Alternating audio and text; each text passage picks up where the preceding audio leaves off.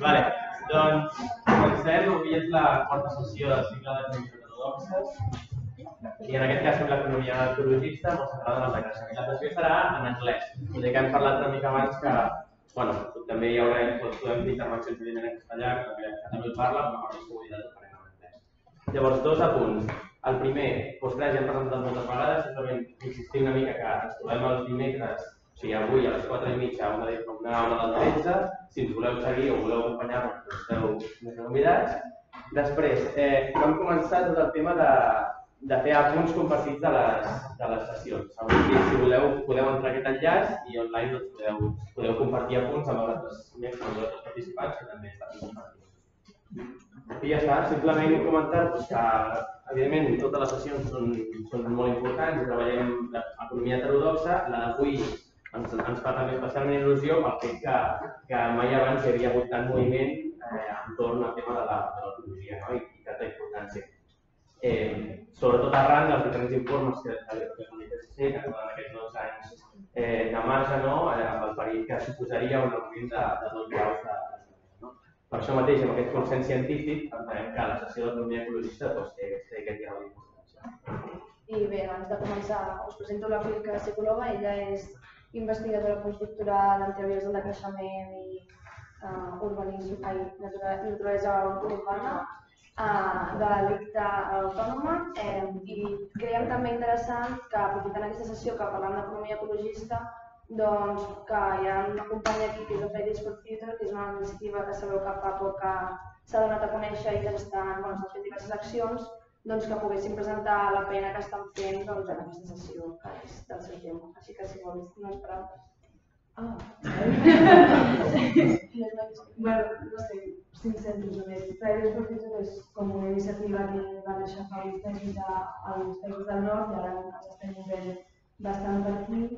Eh, estem fent una de manifestació, intentem arribar a molta gent i el que penso que és una de les feines més importants és com tot això que ens explicarà la, la Filca Psicòloga, doncs, portar-ho més enllà dels murs de les universitats. I mira, tenim un company també de. Hola, Marcelo. eh, I segurament potser aquí hi ha més gent perquè tenim una que de la Conteu, que es diu Emma, que també és bastant important i molt activa en aquest sentit.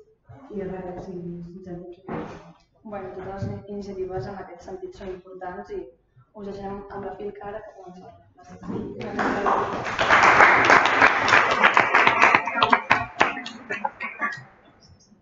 Hola, perdón por hacer esta sesión en castellano, porque, vale, podéis hacer intervenciones en cualquier lengua que queréis. Igual chino será más complicado, pero yo lo haré en inglés. Entonces, si hay alguna pregunta, espero que la podemos resolver también en otras lenguas.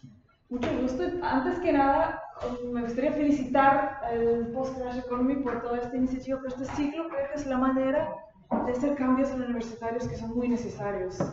Que creo que ahora el cambio a nivel universitario va a venir desde abajo. Y igual los estudiantes y los profes nos vamos a cambiar los roles. Igual vosotros vais a estar, nosotras vais a estar nuestros profesores.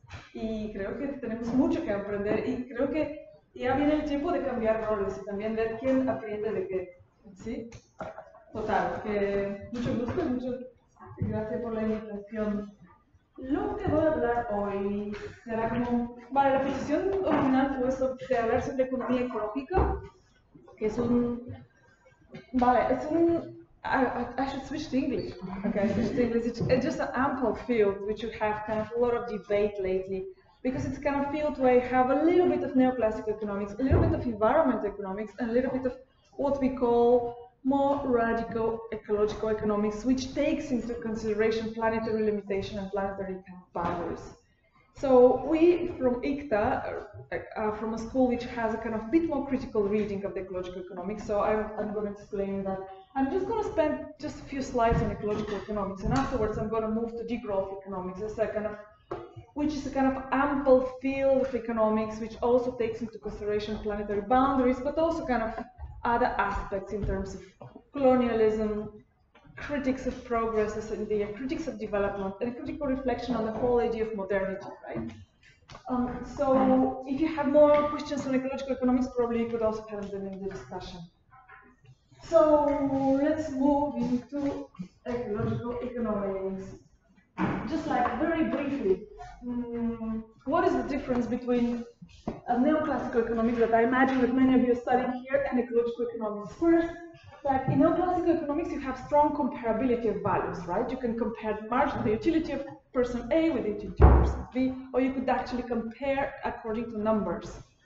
Um, in ecological economics, you can't really compare values so much. Oh, in a sense, what this tree means for me is not this tree, it's not what this tree or this mountain means for someone else.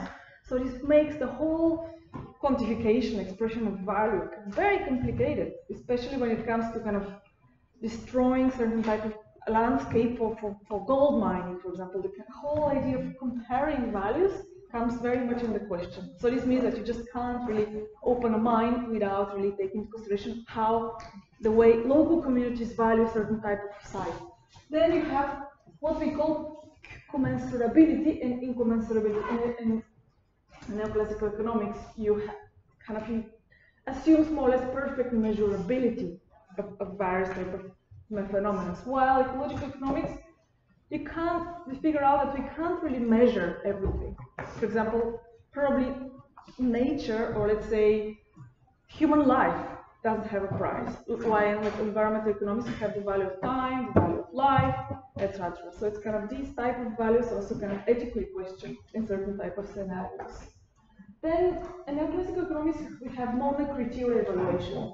We mean we value everything according to monetary kind of calculations. While in ecological economics we use multi-criteria evaluation. Have you heard about multi-criteria evaluation?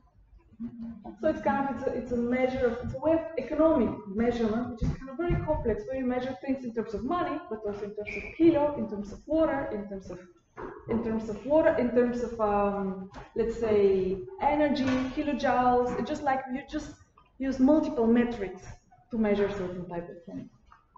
And multi-criteria evaluation as well. We use also kind of different type of decision-making processes in terms of we, we're not doing only weighting and averages, but we also try to have participative processes evaluated, to kind of have mixture of participants, a mixture of actors that could all contribute to the way value is being measured and created. So you have the issue of participation more integrated. I'm going to put it on the next slide.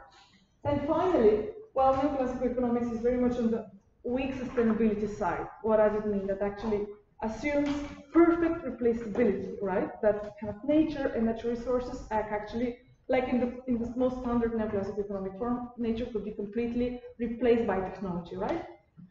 While uh, ecological economics is based on the idea of strong sustainability, namely that you can't really replace kind of many of the material inputs that we put in the economy, right?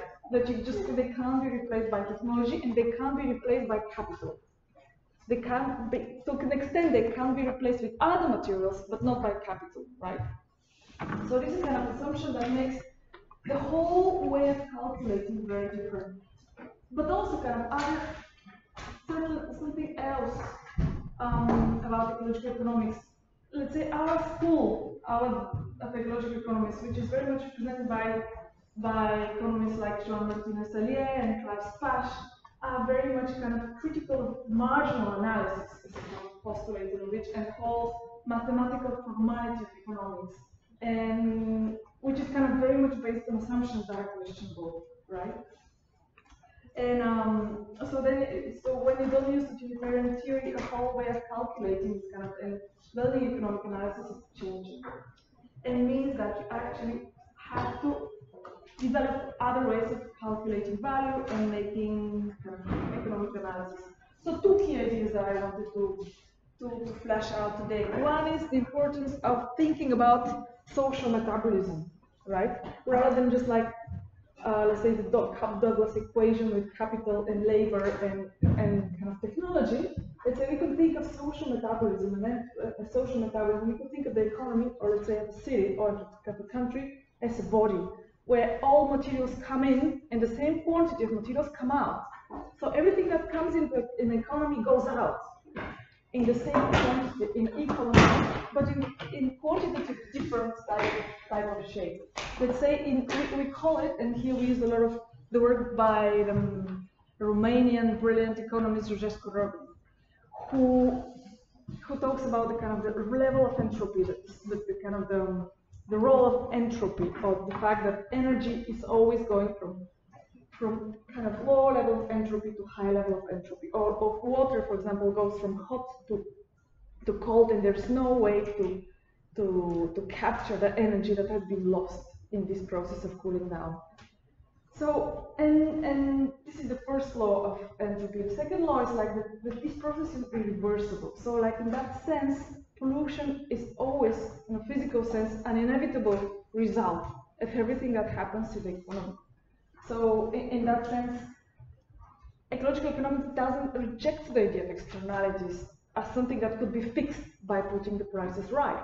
On the contrary, they think that the externalities are just like inevitable process of cost shifting, their way of capturing the value of nature and using it in a sense that always create, generate some sort of waste and pollution that can't be just fixed by prices. So also kind of in there it's also interesting to think of the finite stocks and the fact that the kind of petrol and minerals are out there and they're kind of limited. And, and not only that but they're actually getting deeper and deeper and deeper in the ground, and they actually require more energy to be extracted, and they kind of require more type of, let's say, interventions to be to get to there, because very often rare minerals are, are found in very kind of far distant places of the planet where, where, where local communities are living, and, and somehow extracting them implies a lot of level of violence, which needs to be kind of taken into consideration. So social metabolism. There is a lot of social metabolism studies. You could look at the literature. There is a lot of social metabolism, for example, in Barcelona, to see how much water comes in and water comes out, the social metabolism of waste, of, of material flows, etc. It's kind of very interesting study.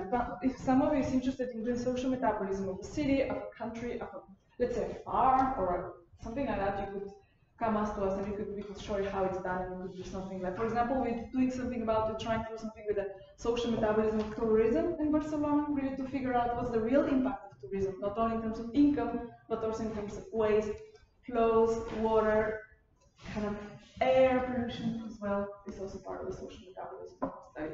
There is kind of institutes that are doing the social metabolism study for the rainfall of entire Catalonia, which is very interesting. But another interesting point about like key point in ecological economics is the role of decision making or how do we do evaluation is actually needs to be informed by different actors, not only by the business, not only by the government, but also needs to be informed by the different stakeholders involved in the process. So kind of um, this somehow puts a limit on the financial valuation because like economics, we have standard criteria. For example, if you do cost benefit analysis, you, you just like calculate the market values, see how much it costs, how much how much a certain type of project would cost, how you try to quantify the damages. So that's pretty straightforward. But let's say if we say that you cannot value nature with money, or if you cannot value lives or livelihoods with money, or if you cannot value the spiritual level of a mountain with, with money, what do you do? Then it's kind of you need different process of decision making uh, in order to start a project that would have certain economic value. So in that sense, you need some sort of um, processes to decide upon upon kind of valuing an effort uh, uh, in terms of kind of going for certain type of economic decision. And and this is also kind of informed by the limits to market-based instruments, like as a kind of way to to to to measure certain type of projects. Because well there's a lot of debate also in ecological economics. Shall we value with money or shall we not value? There is those who say well we could value for example environmental damage that done for example in the in Ecuador, the oil spill of Texaco, Texaco has been one of the positive examples where kind of the negative impact of, of valuing the oil, the, the oil spill has been kind of, I don't know, kind of accounted for seven million dollars. And local communities have actually started a court case and they have managed to win this court case and they are actually demanding this type of kind of this type of damage be repaid by tax Texaco. So there are certain kind of cases when reclaiming damage in monetary terms could to some extent be positive, especially for local communities. But there are other cases when when valuing nature, for example, in ecosystem services, could drive way for commodification, right? And when that happens, let's say, that could put at peril a lot of the local communities who cannot enter the game so easily and who cannot be compensated for all the financial um, compensations that, that they could receive. And there's something interesting also, kind of another point that very much crosses lines in ecological economics, which is the idea of post-normal science. Have you heard about post-normal science? Uh, so it's kind of it's important to consider when during decision making uh, because like post-normal science is is mostly used in situations of let's say climate change, situations of complexity and multiple scales and the need for and the need for reflexivity. And it's kind of it's used when facts are uncertain, for example, climate change. Like there's high level, there's different type of scenarios, but it's impossible to have certainty in terms of how much temperature degrees or what type of climate kind of extreme events we're going to have. When values are disputed, what certain type of economic communities values as certain type of money, a local community probably doesn't value in terms of money. Uh, or there or you mean that kind of values actually cannot cannot be equalized, and there is a lot of discussion about how we value. But also kind of stakes are high when we talk about future generations, when we talk about local communities, when we talk about entire islands being lost, etc. And when decisions are urgent, right? So when we have to kind of take a decision very quickly, kind of um, neoclassical economics does not provide us a tool that we could really count upon for taking taking a well-informed uh, decision about how we can go ahead. Yeah. And um, this is where I plan to jump to degrowth, but I wonder if there could be some questions at this point.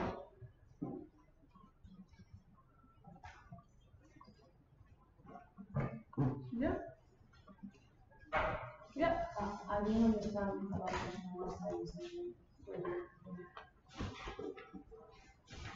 Well, so basically the whole idea of post, post-normal science is an idea that when in situations of uncertainty and high complex and complexity, and when you have to really urgently take a decision what to do with climate change, the whole idea is that we need to pass for, pro, for a more reflexive process. We need to pass for a process where we just like try to put more stakeholders on board. We need we need to put more stakeholders on board, and we need to kind of be using the precautionary principle much more strongly.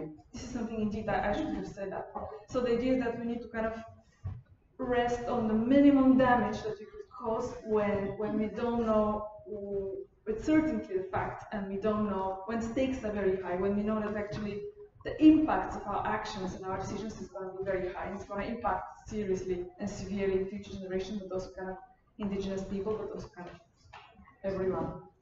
So it actually, yeah, it's called for using the precautionary principle and and the use of participative tools for evaluation and decision making. Yeah. So from here on, I think Like to start talking about degrowth. Let's ask, please. Yes. When you talk about decision making, yeah. are you thinking on uh, politics only or different factors? And what's related to uh, feminism, which is for uh, the favor of women, um, of course. defining these politics. Of course, of course. When we talk about decision making, I have a slide about that. It was like, for example, one of the basic fundamentals of degrowth is actually direct democracy. So we talk about decision making, we talk about deepening democracy, including all types of stakeholders, and recognizing ecological debt, the ecological debt which the north owns to the south, but also the embodied debt, the, the, the debt which is uh, owned to all the women for doing all the productive work and creating all the bodies that are necessary for the capitalism to function. So actually, when we talk about decision making, we need to consider safe spaces in which different types of communities could participate. I'm not talking only about decision making at the municipal state level, we're talking about decision making at the level the neighborhood, the barrio, but also kind of, but not only through the known ways of kind of participating, but also kind of in different types of forms where where stakeholders which feel more vulnerable actually have the right to participate which is kind of very complicated and it's kind of very, very kind of probably this is where we actually this is the biggest struggle, the most complex thing. How do we take multiple voices into account? But we'll talk about that because um, let's say if we could imagine ecological economics as a kind of one ball, degrowth is another ball, and they cross, they have a crossover in the begin, in the middle. Let's say ecological economics and its biophysical and critics of marginal utility and, and, economics is one of the foundations of degrowth. And degrowth economics is an ample field, and I'm going to move on to there. Um, but a lot of overlap with So when we talk about degrowth, it's very, it's kind of, we need to pass through a process of understanding why we need to talk about degrowth and what's the problem with growth. Because degrowth, before all, is a kind of a critic to growth, and a critique to the obsession with growth. So it's kind of two separate types. Critique to the to the cult towards growth, critique to the idea of growth by all means, growth as a kind of ultimate goal of society. So so what's what's actually what's wrong with growth? Let's start with a very pure economic way of thinking about growth. Um, I don't know how many of you have heard about the work of Herman Daly, perhaps well, he's kind of one of the founders of ecological economics. And in the, let's say, 80s, 90s, in the early 90s, he created the so-called genuine progress indicator, in which it's a kind of alternative measure to GDP, in which he actually took into account and monetized, let's say, environmental damage associated with production and consumption, and also all the reproductive work, unpaid reproductive work that's entering into the, into the economy.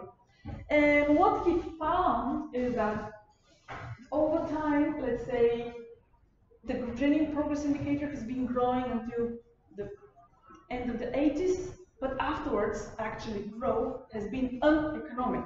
The way his terminology is uneconomic, which means like the costs in terms of uh, livelihoods, in terms of um, ecological damage, in terms of vulnerability are higher than the benefits in terms of what we gain, in terms of consumption, and etc.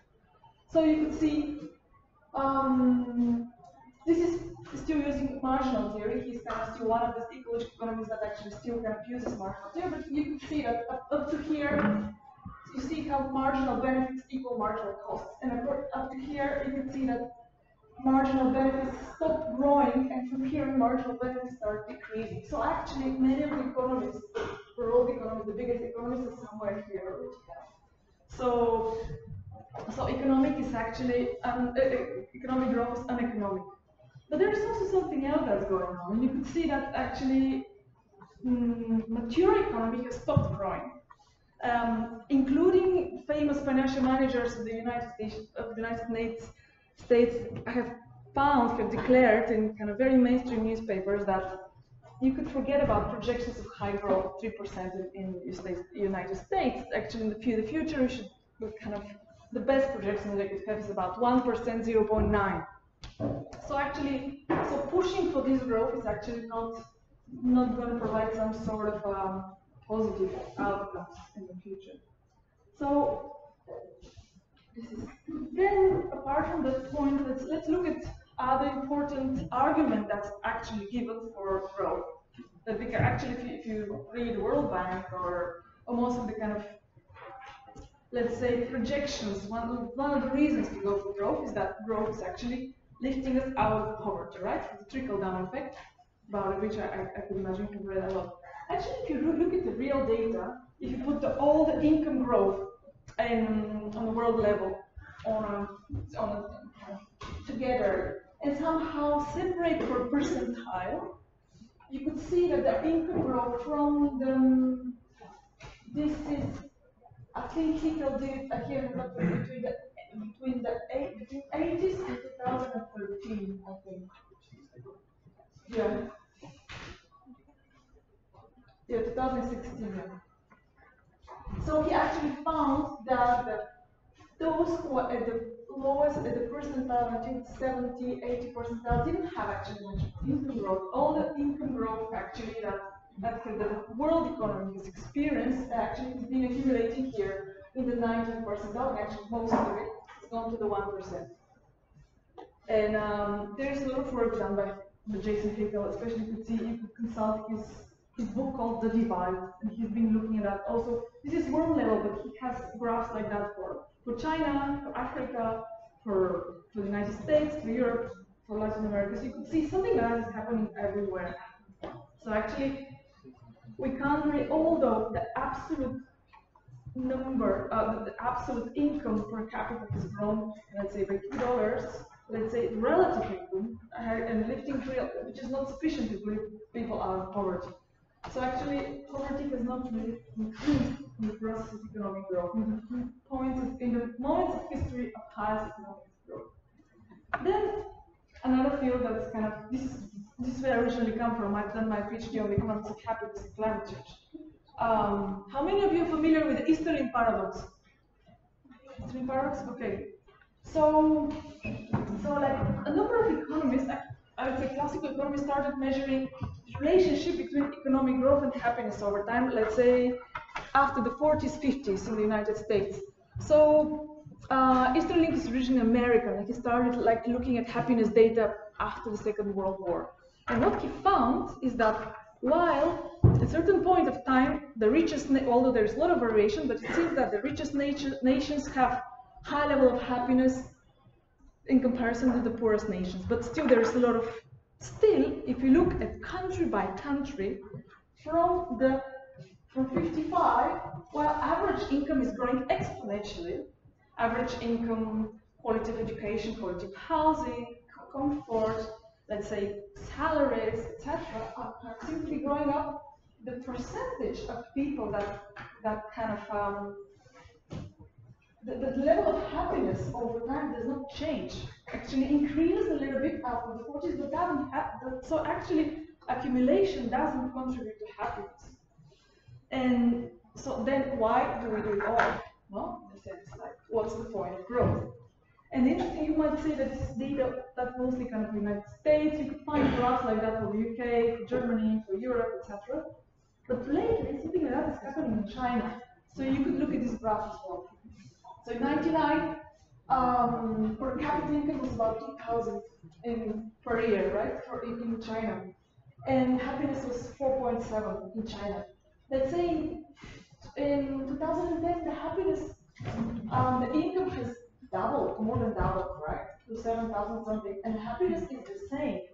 So what's happening? Um, why the China is kind of is monster economy, which is boosting development and you have economic growth, and at the same time kind of contributing a lot to, to world development and exports. What's going on with China? And why is it they call it the China depression? Yeah, please go ahead. Yeah, I just wonder how is happiness uh, Yeah, thanks for that question. Yeah. Like happiness is measured on a, as a kind of response to that question, which has a scale from 0 to 10. And the question is the following taking everything in your life into consideration, how satisfied did your life you feel on a scale from 1 to 10? Whereas, whereas 0 is kind of completely unhappy and 10 is completely happy. Well, certainly saying that, I know that every one of us has their own way of perceiving happiness and it's kind of, there's a lot of variation, so there's a big error factor there. But you could see that when you look at these statistics, it seems that there is a lot of correlation between results, responses on happiness and, and physical health, uh, what other people say about you, how they perceive you, and other type of characteristics. So it's kind of a measure that has a lot of, has certain type of error term, but its tendency seems to be kind of stable. So it's kind of something that we could use for analysis. So for example, I did the happiness in Barcelona, I just I did a study on happiness in Barcelona during the crisis to see what's the relation between loss of income and happiness. And one of the findings that I found is that findings that I arrived at is that using a representative sample of 800 people in Barcelona was that the people during the crisis who still had, lost money, lost income, but would have a little bit more free time and would have the the possibility to engage with activities that they consider meaningful, which means like participation in kind of 50 and mobilization around with the Indignados movement or urban gardens or parent cooperatives or moving out of town to start their own initiative. So there's a kind of very fertile field to start new kind of new initiatives on the community level. So people could engage who could engage in sharing activities are actually happier, although they had an income loss. I'm not talking about the people who entered in un unemployment because unemployment is certainly negative, contributing negative to happiness. But I'm talking to the people who still have kind of income buffer and could still kind of have something to kind of could still kind of cover their incomes. So actually, happiness theory is saying that happiness tends to increase with income only until the point that we meet that we meet our basic needs. Certainly, basic needs can be kind of vary. Now it's a different way of. But still, like it seems that once a country passes a threshold of, let's say, 10,000 or between 10 and 15,000 GDP per capita, um, happiness doesn't increase any longer. Kind of the more the more we consume doesn't really kind of have any impact on happiness because we adapt and because we continuously compare ourselves with the others. What we consider as necessary is a function of what we of what the others actually are consuming. So that's about happiness and growth. Let's move on. And let's talk a little bit about um, climate change and, and biophysical limits to growth, etc. So a lot of um, neoclassical economics and the whole idea of substitutability between materials and, and capital is kind of assumes that there could be a lot of that, that probably we could decouple economic growth from environmental impacts. Meaning you can continue growing, you can continue accumulating, you can continue consuming, and probably we could sleep, we could kind of be more efficient, and we could probably um, adopt greener technology, which are not so polluting. Yet, if you look at the historical tendency, what we find is that so far, one percentage of growth is associated between 0.6, 0.8 increase in greenhouse gases. So we could find pretty straightforward kind of positive correlation between uh, with the, between uh, income growth and greenhouse gas emissions. So actually, climate change and growth are actually pretty much tied in. Then we could look at the increase of raw materials. There is a number of studies of, of ecological economists that do social metabolism, what I just talked earlier. And you could see more studies that show that there is almost very high correlation between income growth, GDP, and the increase of raw materials extraction. Extraction of fossil fuels, extraction of, of, of metals, extraction of gold, of silver, of lithium, and etc., which is actually accelerating a lot. The same with water footprint. So, and let's see what I had a graph here. So you there is kind of very consistent studies that show that economic growth is very is almost one-to-one related with environmental health, with climate change, with biodiversity loss, with water salination, etc. So that's this is why actually the critics of, of growth comes very strongly and started already more or less from, from the idea that they are biophysical limits to growth. Because the economy is still very material, much more material than we could imagine. And I'm going to come back to that. And here there is kind of from a biodiversity perspective. This is a kind of another study that's that's looking at the relation between GDP growth and biodiversity extinction. You could see um, how the number of threatened and endangered species is actually moving almost the same way as uh, world economic growth. It makes sense, no? How, what, what does growth mean? Actually, you know, factories, more extraction, more roads, more, more supermarkets, which actually built in places of more urban sprawl, and so more mines, and of course, biodiversity is kind of having a stake. Um, so, so the point of, on the impacts of growth, concaryon and prokaryon and prokaryon, and you could see this study there is not so much discussion on the relation between economic growth and and the multiple environmental or social impacts. But actually the question is how do you read this data, right? How do you interpret this data? Um, from a neoclassical, or let's say environmental economics, which is the branch of economics which is still using the neoclassical economics tools for to work on the environment. You could see that probably we could go for more more efficient or so-called green economy, plant more trees, use ecological bulbs, let's say use more car, electric cars, and etc. So that's one of the responses of the so-called green growth. And before moving to the green growth, I would say like let's let's look at the green growth and up to what extent green growth could be a solution. By the uh, way, are there questions about what I was just saying? Because I go a bit fast. If someone has a reflection, question, or clarification.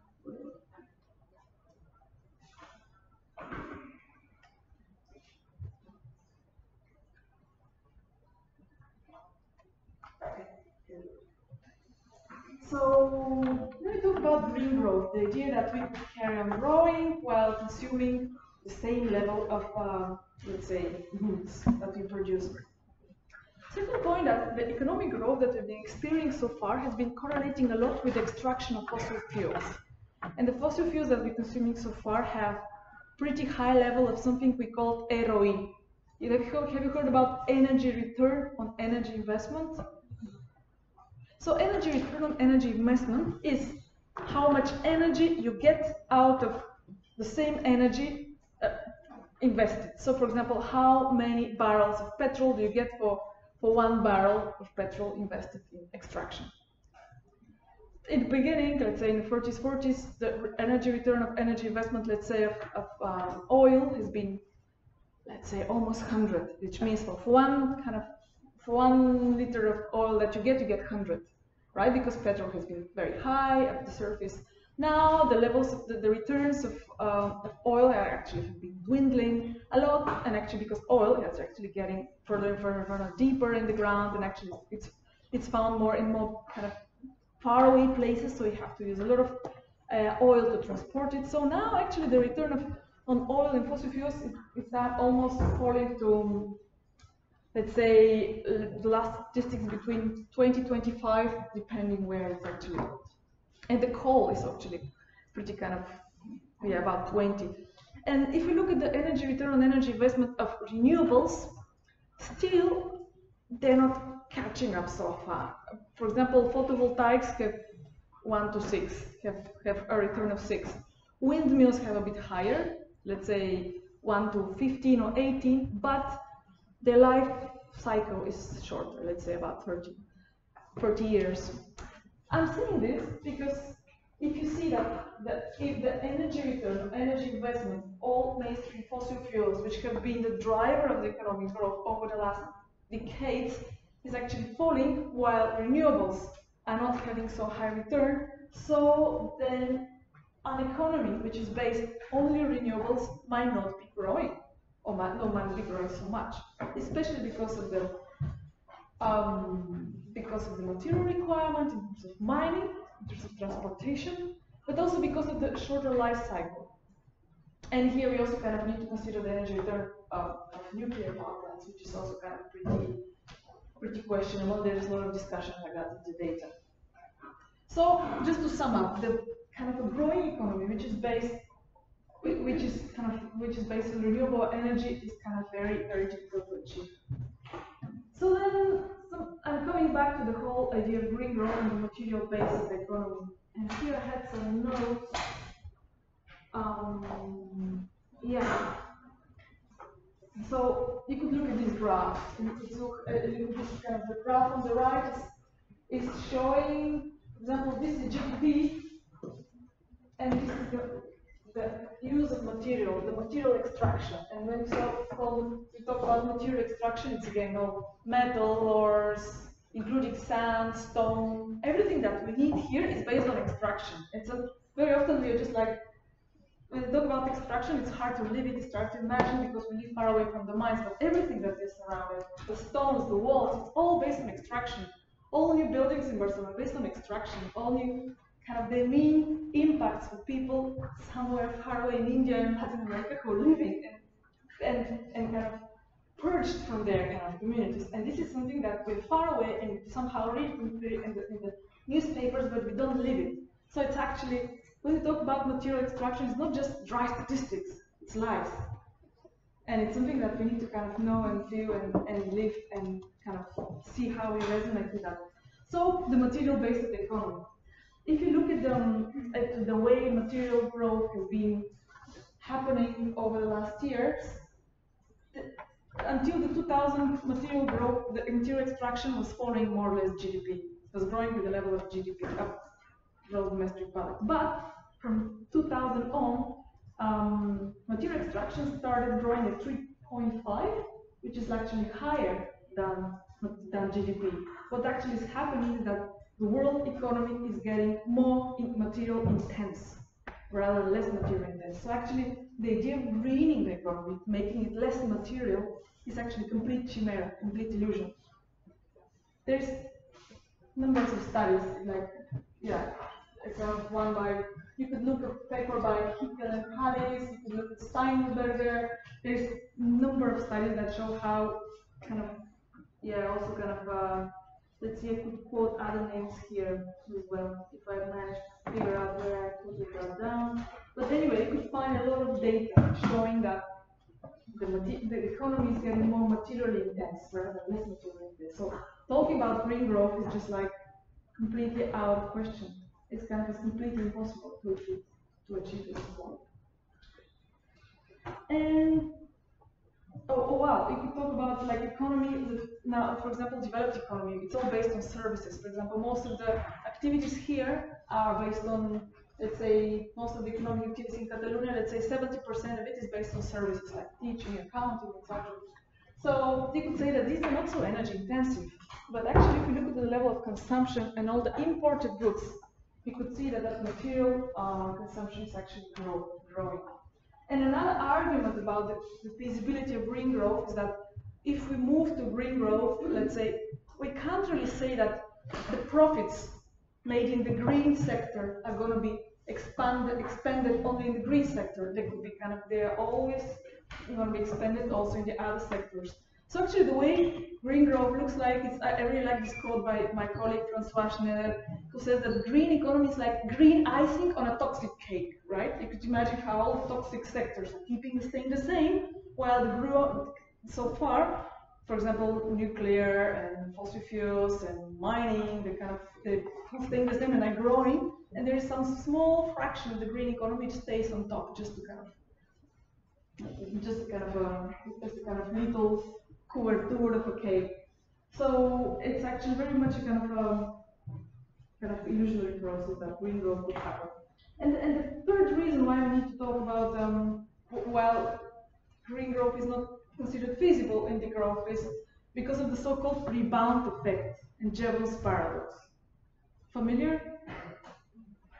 Um, so actually, it's the kind of the, another brilliant economist that it's, it's a pity that is not studied in universities, and I don't know why that's not happening. Is is Jevons, who started studying uh, kind of the industrial revolution just when the steam engine got discovered. And at some point, he just he found when the steam engines were getting more efficient, he figured out that he expected that when the steam engine is getting more efficient from certain, for example, from one kilo of carbon, before you would get just like 10 kilojoules of electricity. And, and with efficient, more efficient R kind of machines from one kilo of carbon, you could get, let's say, 100 kilojoules. And he was said, probably at some point we're going to reach a moment when when we're going to stay idle or we're going to have more free time, we're going to go, we not have to extract so much because we produce much more, right? We get more efficient. But actually what happened is just for a couple of years, extraction doubled. So actually it means that so far, uh, all the efficiency gains that are produced in the production actually taken away by the but actually lost or cancelled by the increase of production, right? So actually productivity grows, but together with it, demand grows. And you could see it here, actually, you could see it here in the, in the, in the classical demand curve. What happens is that with, with the decrease of costs associated more with more effic- efficient production, cost falls. And when cost falls, demand also increases. So actually, what happens with, with cars? When cars get more efficient, people start to drive faster and uh, people start to drive longer distances. or when you have when you put energy efficient bulbs in house with the, with the savings in your money, you actually could buy more goods from China. Or like, there is multiple examples. For example, machines that could extract more efficiently actually go deeper in the in the forest or deeper in the ground. So actually, all so far all technical innovations has served humanity to go deeper, to expand more, and to gain more profits actually out of that. So this rebound effect, this paradox, which always makes us pursue more, is canceling out a lot of the energy gains that we are trying to have uh, with the, with the energy. This is not to say that we don't need energy efficiency, right? This is to say that probably in a degrowth scenario, we need to kind of think of energy efficiency plus reduction of consumption. And this is where I'm heading. Yeah, please. I can't understand why it's a paradox. Since um, like capitalism works this way, right? You can get more, just get more. You shouldn't need to like. If, if we live in like capitalist terms, it's just I don't understand why the a paradox. Yeah. What's your capitalism? Uh, It's a good point. Probably we, shouldn't. We should call. We should. We should make a paper and tell them we should not. They should not call it Jevons paradox. I agree. I mean, it should not be a paradox. I agree. Like that is actually the more efficient you could get, you should use this efficiency to exploit more. I agree. Probably it should not be called a paradox. Yeah, not a bad idea. um, so so yeah, the, the story about unfeasibility of green growth will carry on and on and on. So it's kind of the key. So the, the key kind of conclusion or analytical point you want to get from here is like, what does this information imply? Um, and from the degrowth community, we are we, we start to kind of find more evidence that actually the only way to actually face, um, let's say, the extinction that we are facing, or like the increasing uh, in global inequalities by decrease, by drastic decreasing of throughput, or and rethinking also mindset, rethinking kind of rethinking models, and kind of also ways of government. And here we go into kind of what what and this leads us to the idea of degrowth. Well, it's important to say that probably a bit about the history of degrowth would be interesting to say a few words about it the started as kind of originally in the writings of the Club of Rome, um, the limits to growth, with a report they issued in the 70s where they just put the finance stocks into the into of, of, the planet into one kind of model and started looking how what happens with these stocks when you keep on consuming the same. And they figure out at some point, let's say about 2020 and or 2030, there's going to be a kind of climate crisis and other type of crises. And this is more or less, we more or less following their trajectories. But then, uh, but then activists from, let's say, more, let's say, from anti-car movements in France, but also kind of other type of movements, took up this slogan, degrowth, and started campaigning around it. And then, uh, for reduction of the number of cars, and but then the interesting thing is that, like, this activist, this is why we call degrowth an activist science, because these calls from activists were taken on by researchers and we started organizing and they started organizing conferences around it because it kind of it's a very fertile field for doing research. And because it gives right gives kind of rise to very interesting questions to to, to ponder upon.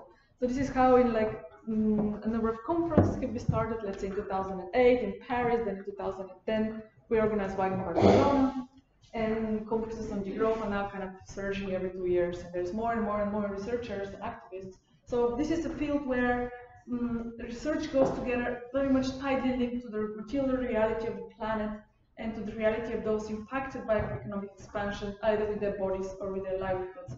And there is a kind of a constant. So this is why degrowth is like a field of research that's kind of still evolving, right? We still kind of it's it's a field of research where we just keep on being reflecting upon our, our, work and constantly updating our knowledge.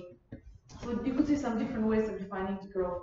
Let's say from from activist science perspective, degrowth is a call for abandoning the cult religion to economic growth, right? The kind of the idea of putting growth as the overarching goal of society. Then, from a political ecology perspective, um, growth is a call for radical um, politicizing, the radical political and economic reorganization of society. which is associated with drastic reduction of, of of social metabolisms. More from ecological perspective, degrowth we defined it some years ago as a kind of democratically led and equitable downsizing of the body of the kind of let's say metabolism of the planet, especially in the global north, which improves human livelihood, let's say happiness, and also kind of contributes to kind of environmental sustainability while also taking consideration of justice. And the definitions carry on. Degrowth is also kind of, let's say, very often used as a slogan that mobilize various movements, let's say, now Climaxion, for example, Barcelona, but also kind of uh, other, let's say, anti-mining movements, the, the, the anti-coal movements, also the anti, the kind of, let's say, the movements for decreasing tourism in Barcelona, let's say, using also the Christian as a kind of slogan. So, and the group is also kind of, can be thought of a network of ideas that give, that give some sort of um, patterns or suggestions for how we can change everyday, everyday living, let's say, in, on a more personal and community type of uh, community type of organization. So, and Latouche, one of the founders, is calling degrowth society of frugal abundance. Because actually, degrowth, according to many, is also called for abundance because the way we define our needs is like our, the idea of abundance is a function of our needs. So if you rethink our needs, our kind of what we consider necessary is going to be completely changing. So, and a few kind of clarification about what degrowth is no is not, which is useful to pass through in order to kind of to, to avoid um, kind of confusion. So degrowth is not only reducing alone, because actually if we reduce GDP, keeping all the rest and kind of the same, that would be a crisis. So degrowth is not a crisis and is not a recession. Degrowth implies changing the type of institutions and the type of economic organization and the type of relationships that we have. Let's say day labor relationships as well and, and kind of so rethinking many parameters. So it's not about pushing the economy immediately into crisis. No, the idea is like degrowth is like not only less but different. Yeah. Um, that I've already said about it. So it's kind of degrowth is also kind of we don't perceive it as a top-down policy. We rather perceive it as a kind of a mixture of. It's not. It's not very clear how what's the exact political strategy to achieve degrowth. The idea is to have a mixture of approaches. Let's say bottom-up, community-driven, together with municipality-oriented action, and let's see what else. And as much as and we see as how far degrowth could reach actually also parliaments and decision making, which is kind of very difficult because there it's there where the religion of growth is actually having its deepest roots. So degrowth is kind of something that's not not top down and not we not talk about green fascism, right? Um, also, let's say we have been having this debate with more, let's, let's say, from economists that or others that growth is the opposite of growth. Although the word might be misleading, degrowth doesn't mean negative growth. It means kind of actually qualitative changes in the type of confronting the growth imperative, which is like new imaginaries and new type of spaces and new debates that are actually being opened. Nor is it Malthusian in terms of like thinking of how to shrink the human population. On the contrary, degrowth approach, like degrowth movement advocates the idea of conscious corporations to stop capitalism from exploiting female bodies to produce more kind of um, more soldiers and cheap labor. So this is what actually the question whether there was in the beginning. Also, we try, don't degrowth. We try not to be too catastrophist, saying that we need to degrow because otherwise we're gonna die, right? So not to be kind of we don't want to degrow because of fear. We want to we want to have a society of degrowth based on the idea that we could change as much as we can, but we could change and we want to do it collectively and through deliberative action, right? Not not forced, uh, not not by force. So, mm, what do we consider when talking about degrowth? We talk about like philosophical sources or roots. We talk about um, sectors.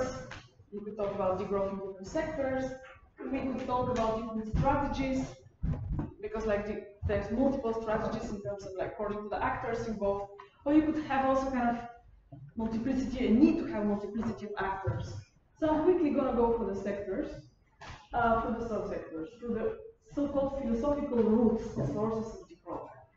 And this this range from let's say from anthropological studies, let's say from social studies and the work of Latouche and Arturo Escobar, is there, let's say the critics of development.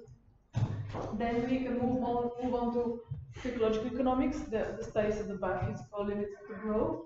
Then studies on psychology and social psychology, which are related social comparison of happiness. This is also another stream that actually feeds into the degrowth uh, term. We talk about kind of direct democracy in the work of Castoriadis, Ivan Illich a kind of another source of inspiration for degrowth. Then studies on environmental justice and kind of the so-called environmentalism of the poor, another kind of key kind of key, key type of thought and, and school that feeds into degrowth. And and also the kind of studies, studies on social justice, the need to redistribute kind of wealth and ecofeminism are another key kind of source or root of the degrowth. And I'm gonna go through all of these. Let's say I still have time. Because I, I have a feeling that I'm talking a lot. Are there some other questions? Because I imagine it's tiring all the time, Miss Miss Miss. Yeah, please. Actually, before that, Yeah.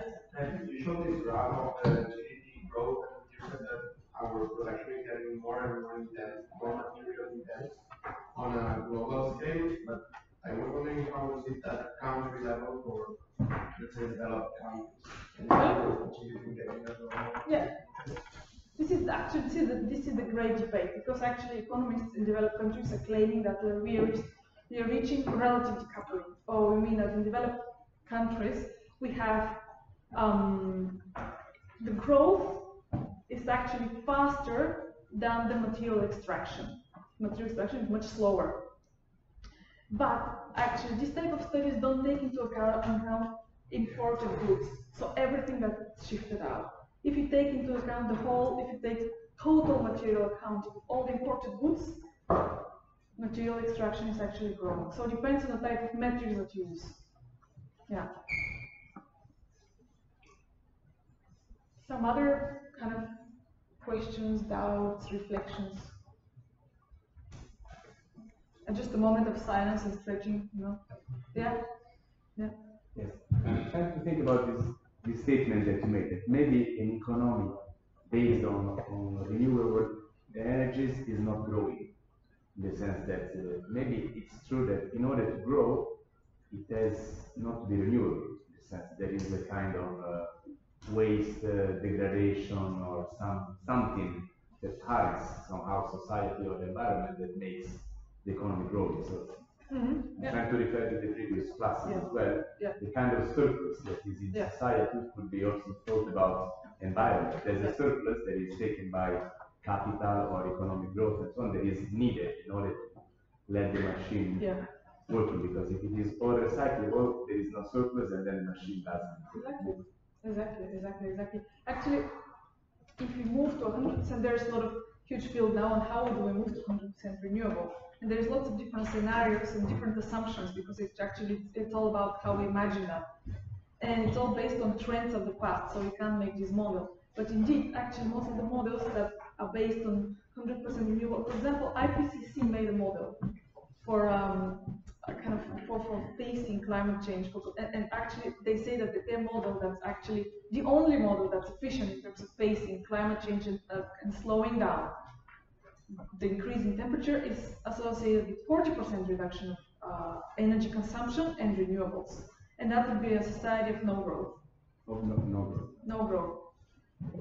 So actually, so degrowth is, we don't see the growth as a goal in itself, by the way. We just like, there are some graphs that imagine that degrowth, we use this marker, no?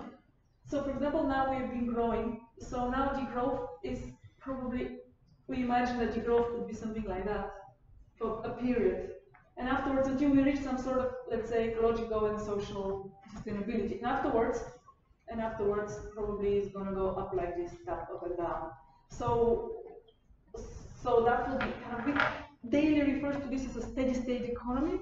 In which we reach some sort of sustainability level in which everything that's extracted is actually regenerated afterwards. So we just try to clean a loop. Although, according to Georgescu-Roegen and the, the second law of the thermodynamics, entropy is always um, is always increasing. So there is limits to the recyclability of materials. For example, you can't recycle something endlessly. Uh, so at some point materials are going to be extracted, so you have to see that. And there are limits also to efficiency and to recyclability. But yeah, indeed, for example, let's say the IPCC are more heading towards this critical degrowth, 40% degrowth plus afterwards renewable energy and lower level of material consumption. And indeed, actually, there have been some models which say that if we go back to the consumption that we have in the 70s, when happiness rates would have been a bit higher, we could live somehow in a planet which is more equitable and we could have a little bit of more ecological balance. Or we could have kind of better environmental parameters. And let's say nature will have the space to regenerate itself. Yeah. Are there some other um, reflections before I go into describing the sources of degrowth?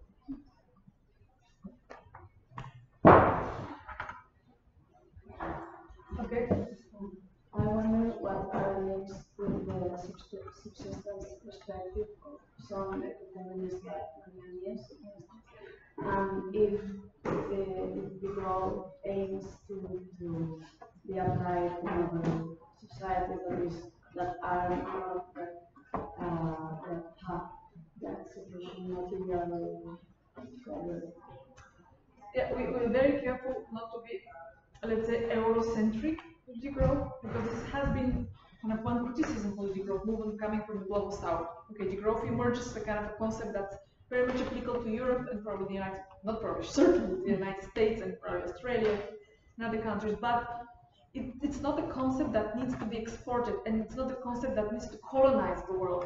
So, so this is why we talk about the importance of the pluriverse and the kind of different, and from a post-colonial perspective, it's important to think about the multiple sister movements that together make a pattern and together we made a movement of multiple meaning, multiple significations and multiple type of understanding, multiple approaches.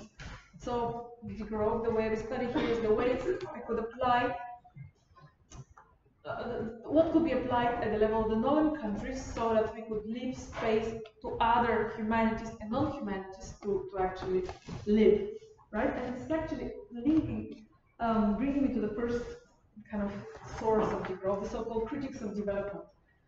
So, um, it's very much kind of, this is actually one of the primary origins of degrowth.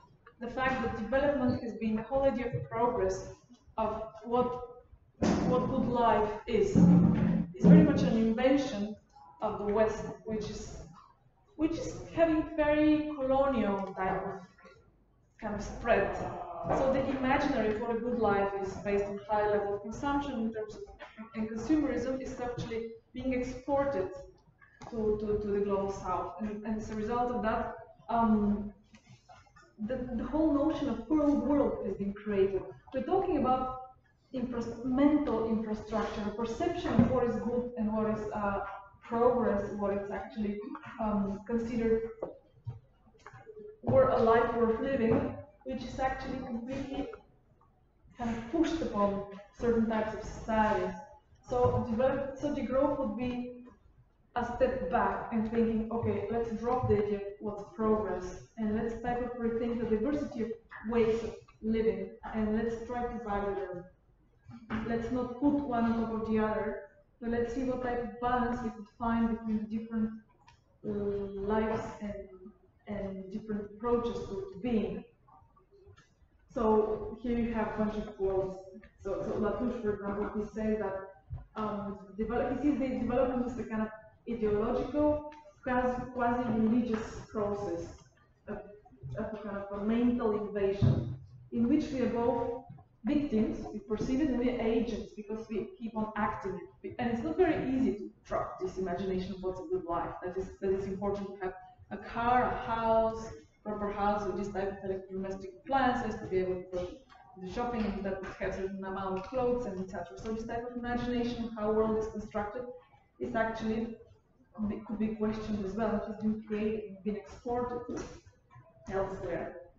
Um, so, so in, in that sense, degrowth is kind of an idea to try to escape from this, um, what Latouche calls economization of our minds, or in terms of valuing mostly in terms of material possession or in terms of income, and, and calling that development. So development is not only growth.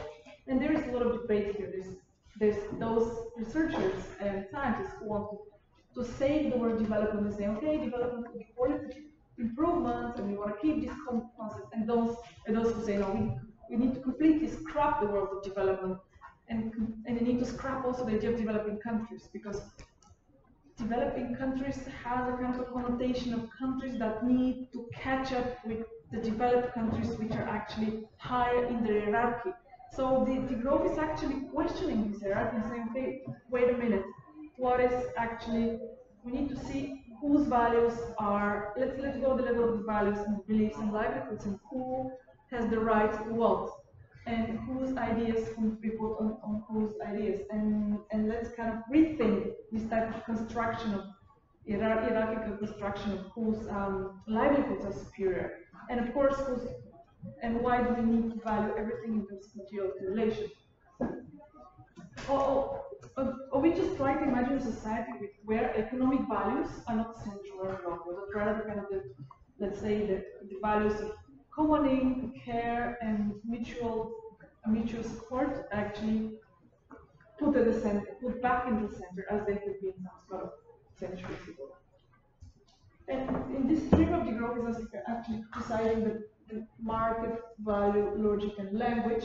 Criticizing doesn't mean um, completely stripping the idea of markets. There's also kind of division there, but it's kind of putting it in kind of a bit more marginal role, not putting markets in the center, not valuing it, not producing value in markets, but just like putting in the market. Let's say market for local producers two words, but not marketize everything and, and commodify everything. So that's the, the, the source of develop, degrowth that has to do with the critics of development. The other source of degrowth has to do with like with the happiness study that I just mentioned before. And the idea that given that growth doesn't really increase our subjective well-being, probably degrowth in which we have kind of equitable downscaling of consumption and revaluing our um, our way of living would probably um, not affect our well-being so much. We probably live happier lives if we don't have such inflated expectations of what um, of what our material conditions. And um, and there we have kind of, for example, the, the work of Kasser and Bruni and many others who talk about the, the importance of relational goods or the let's say goods in a kind of, in, in a kind of different sense that relational goods are the goods that we create through, for our social interaction, through our sense of neighborhood, and our sense of community, in what we can create together. So actually, so degrowth is very much rooted in the idea of conviviality and, and, and the commons and creating the commons and recuperating the commons on, on the neighborhood level, on regional level, municipality level, and, and etc. So that's the kind of the second stream of degrowth. The third stream of degrowth, it has to do with the kind of the back limits to growth that I was like referring to earlier. So it's actually degrowth here means bringing our macroeconomy to within the ecological carrying capacity of the planet. So this is what Herman, this is kind of a term borrowed from Herman Daly. He, the carrying capacity of the planet is the capacity of the planet to absorb everything that we have, spit, everything that we actually process. So you think of the planet as a kind of body, let's say the human body, everything that eats, passes through the human body and then gets extracted, right? And the planet is, is having the same. So you could calculate its carrying capacity in terms of how, how much carbon dioxide it could absorb, how much, you know, let's say, pollution in, in toxic waste it could generate, and how and what time it takes to process it and bring it back to kind of non-polluted substances. So thinking of time that it takes to process all toxic materials. So, so this is actually very similar to what I was talking in the beginning, so I'm just gonna go over that. And here, so the fourth stream of degrowth is related to the idea growth degrowth as autonomy and deeper forms of democracy. And, and this stream of degrowth is very much inspired by the Greek philosopher Castoriadis. Uh, have you heard about him? So he's actually he's actually saying that capitalism growth and democracy are incompatible, and and, in that sense, degrowth is envisioned a society of, made of multiple communities that constantly reflect upon their the norms and laws that are they constructed. Also, a society which constantly builds, evolves, and changes also their uh, laws and, and institutions. So it's not only about establishing the institutions together, but actually having the possibility to change when conditions change. And, and actually, so kind of self-reflective society. Um, so, so growth in that sense is a kind of perceived as a kind of deeper form of autonomy, or, or including freedom from wage labor, or like labor which is also done for other means. Uh, here we have and, and an interesting also stream of degrowth has to do with a, related to, the, to democracy. It's a critical reflection upon the role of technologies in our lives. And here we are inspired a lot by the work of Ivan Illich. That's another name of a kind of. Someone has heard of Ivan Illich? Yeah, I mean, he was kind of an author or a researcher who found that equity and energy were growing together only up to a certain point, a certain threshold, and afterwards, energy consumption growth and the cost of equity, which means that higher bureaucracies, high level of centralization always tend to be less equitable and less manageable.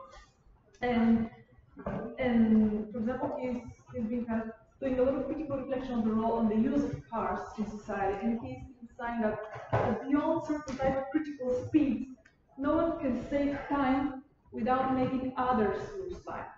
Or in the sense that cars are creating the type of remotedness that only they could actually shrink. I mean, like once you drive certain type of kilometers, you just like the, the car gives you the gives you the freedom to drive further and or, or to or the, the plane gives you the freedom to drive further, but at the same time it creates the dependency to go there and it actually creates the dependency to bring back. It gives you of so it's kind of sort of freedom plus plus very strong dependency attached to it. So it's kind of the dependency to technology and the role of technology in constantly evolving technologies, almost autonomous body, is something that in growth stream is also very kind of critically reflected upon in relation to democracy. So in that sense, mm, kind of is talking about the role of so-called convivial technology, technologies in which we could act upon, recycle, and of do multiple tasks. Okay, degrowth is democracy, right? So degrowth, another stream of degrowth is actually inspired more from, let's say, Marxist literature is degrowth is repoliticization. So, it, so degrowth in that sense kind of implies, um, so we, we could argue that capitalism is, is not feasible without growth because um, because let's say competition and, and accumulation are actually the central tenets of capitalism. Once you once you strip them out, then capitalism is kind of is kind of almost falling apart.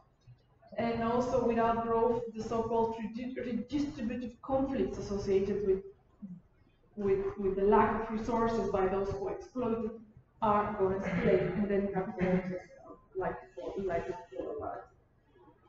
And I have two more to go. Degrowth is environmental justice and growth is social justice.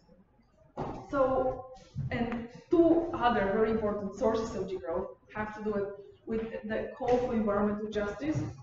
So, and this is what we say, and this, is, this brings me back to the idea of degrowth in the global north. So, degrowth is a call to deflate the modern Western subject to leave the space, ontological and epistemological space of the of the other humanities to and non-humanities to actually exist. So this is what I was telling you earlier, recognition of the ecological depth which um, the North has actually been accumulating and accumulating through extraction of, of, of resources and actually bodies based in the South. and recognition and somehow response to this debt, which need not be only monetary, but also kind of bringing back access to land and bringing back the, the resources that they developed. So actually recognition of the ecological debt and, and some sort of response or repaying the ecological debt, or also a call to bring all these environmental conflicts which are on the frontiers, uh, which are kind of hidden in countries which we call developing, and bring them back here where they could be democratically resolved in front of our eyes. Or for example, degrowth of environmental justice implies paying equal attention to those who are impacted by the mining conflicts worldwide as to the people who are consuming these goods. For example, if we want to take into consideration the lives of those living next to lithium mine, next to uranium mine, those replaced by windmills or etc., and have to compensate them for, for the loss or somehow avoid the mining, then then the economy would not be able to grow and we will completely have to reshuffle the way we produce. So yeah, degrowth of environmental justice. Then degrowth of social justice is a call for redistribution of wealth. So, so in then, so the, the principal argument there, which is very much advanced by Jason Hickel, is that there is enough for everyone. There is enough food, there is enough uh, material, there is enough. The planet is able to nourish everyone. The question is how we distribute these material resources, right? There is enough for everyone without having to go. Just the question is how do we redistribute in a, in a kind of more fair manner what we have so far. And um, and degrowth of social justice then kind of another key notion that we've been taking up over the last years is the notion and practice of care as the center of our economy. That ah. needs to be put at the center of our uh, economy in terms of recognizing all the debt to all the reproductive workers that are, that are constantly doing regeneration of the conditions that we need for production. So the kind of all the bodies and all the individuals that are constantly producing, putting the labor market behind these people and also the ones who are working, there is a huge amount of productive work, labor that needs to be taken into consideration and probably put at the central place because this is what actually nourishing the community, making the whole community exist, the whole the whole economy work through. So it's kind of this, this needs to be kind of be thought and recognized. Um, and beyond that, it's important to say that degrowth is not meant to be kind of a dominating concept that should be exported all over the world. There's kind of a lot of system movements and kind of comparable um, initiatives that are out there in the global south, which are called Buen Vivir. Perhaps some of you have heard about Buen Vivir in the south. Buen Vivir is kind of, you could there. It's kind of well, it could be interpreted in different ways. For example, the government effect, but interpreted in a practical sense, but in general, the original sense of it is like when we really kind of recognize the intrinsic value of nature and the fact that the inseparability between nature and humans and the deep notion of well-being and fulfilled life that's experienced through, through being inter in interaction with the others and with nature. But there's also other, type of movements like the Ubuntu in Africa, um, the Zapatista project in Mexico, Eco-Swaraj, which is kind of the, um, the self-sufficiency economy that's very much started by Gandhian inspired by Gandhian economists in India. So there's a lot of, lot of movements that are listed just enormous, and there is a recent book that our colleagues from ICTA just started, just took out there, which is called Pluriverse, which has more than 100 entries on different types of imaginaries and, uh, and system movement in the global south. I have a lot of more slides, but I think probably it's time to have a bit of discussion. Right? have a little bit of interaction. Hmm? Anyway, I said that I should finish with the one. Yeah. yeah, I should finish now. So okay, let's let's let's uh, let's have a bunch of questions and let's see what you think about all that. Please. I'm asking all these Marxism. How would you relate all of these concepts we have been having like, lots of it's so there's lots of lots of commonalities. For example, degrowth is about like bringing back the means of production to workers and self-organized work. So kind of in terms of the means of production and, and kind of um, and also the exploitation of workers, the two movements are very much kind of degrowth is very much building upon the kind of Marxist critics. But the point is like classical Marxism is still very much productivist in the sense of kind of uh, very much growth oriented. Um, the, the new type of Marxisms, which are let's say we call them eco-socialists, like eco-socialist movements are very much kind of aligned with uh, much more with degrowth currently. Because like let's say they're Marxists are very much on the eco-efficiency, green economy type of side. We need to stimulate the economy, produce more, etc. Okay, re, re, let's say recap, re, recorporate. Um, what was the word? Re, okay, anyway, re, re, bring back the, the means of production to the, to the workers, but still kind of in a more kind of growthist model. So there is a debate out there. Otherwise, the Marxist is a kind of system movement of degrowth, one of the bases and inspirations of degrowth. I don't know what that answers. Mm.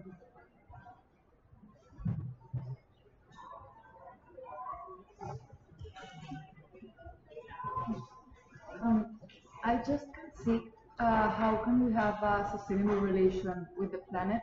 If one of the most important parts of sustainability that is well that all the species have like a population control and we by medicine and by housing and all of this we have like destroyed this control. So if there like my question is there if there's a margin for this in um, degrowth economy Could you repeat your question? I'm, Yeah. I'm not sure. So you're asking whether there's a margin to kind of to space for, for all the other species. yes and for the like exponential growth of people yeah.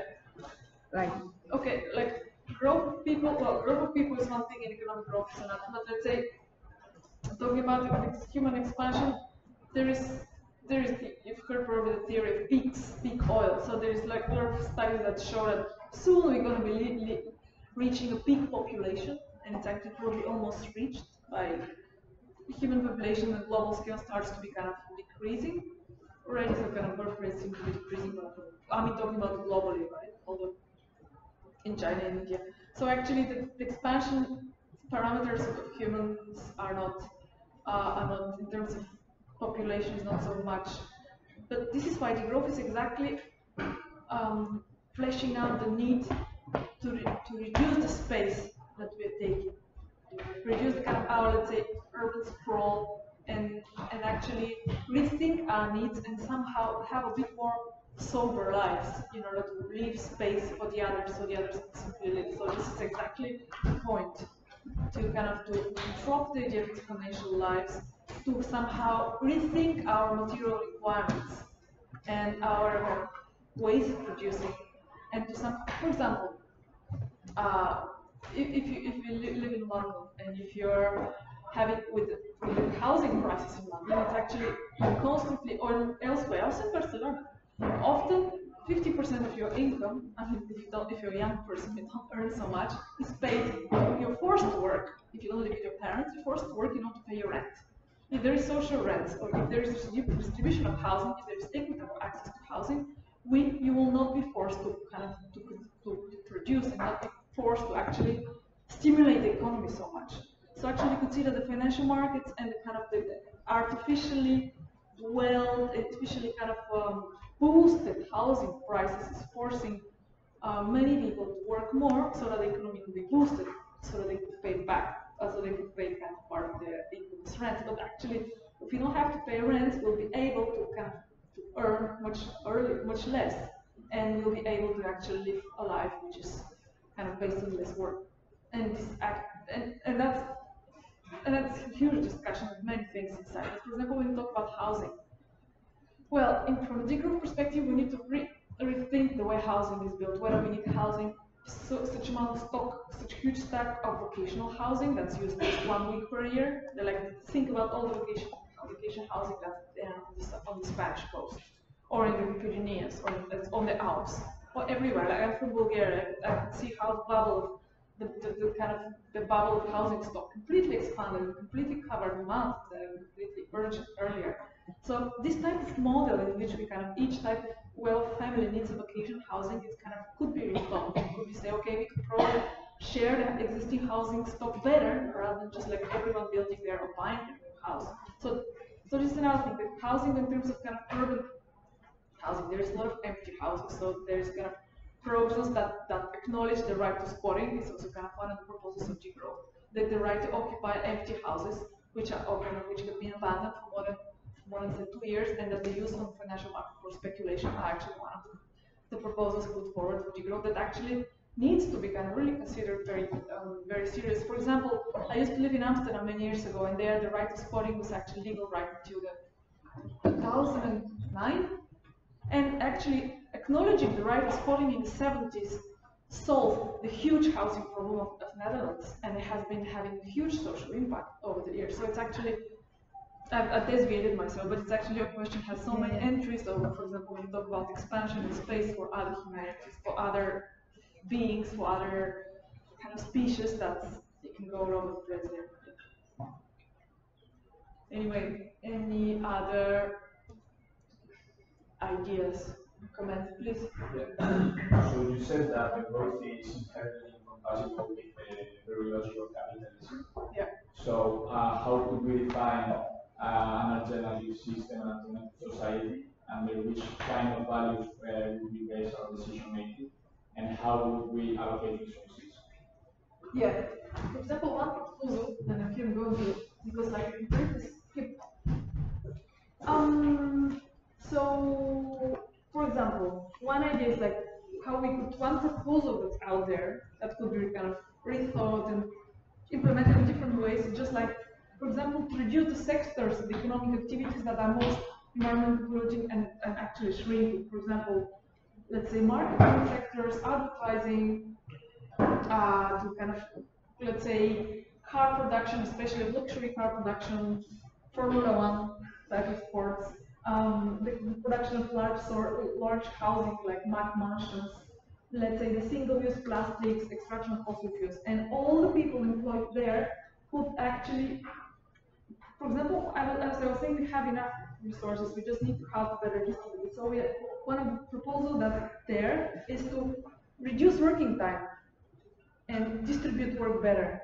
For, for example, like say, if we have working time reduction, we're going to have more job placements. So in that sense, we could have shorter working week, redistributing labor, and uh, a job guarantee, uh, kind of insured by the state, which could, or a basic income that would compensate those who have been kind of having to leave, those who have been disemployed by the unemployed by the sector that are closing down.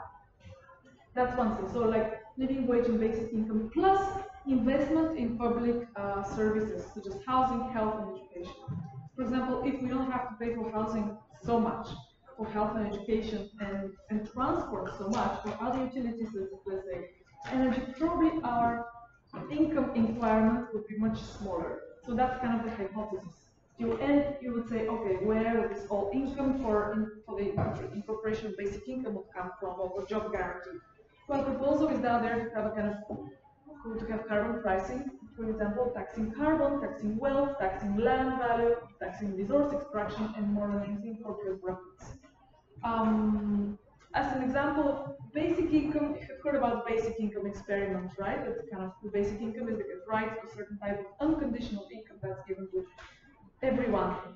Well, here in Barcelona, I've been just part of the team of Barcelona municipality under the government of kind of, well, let's see which the new municipality is going to be like that. The previous government, government installed a basic income in Besós and other kind of poor neighborhoods of Barcelona.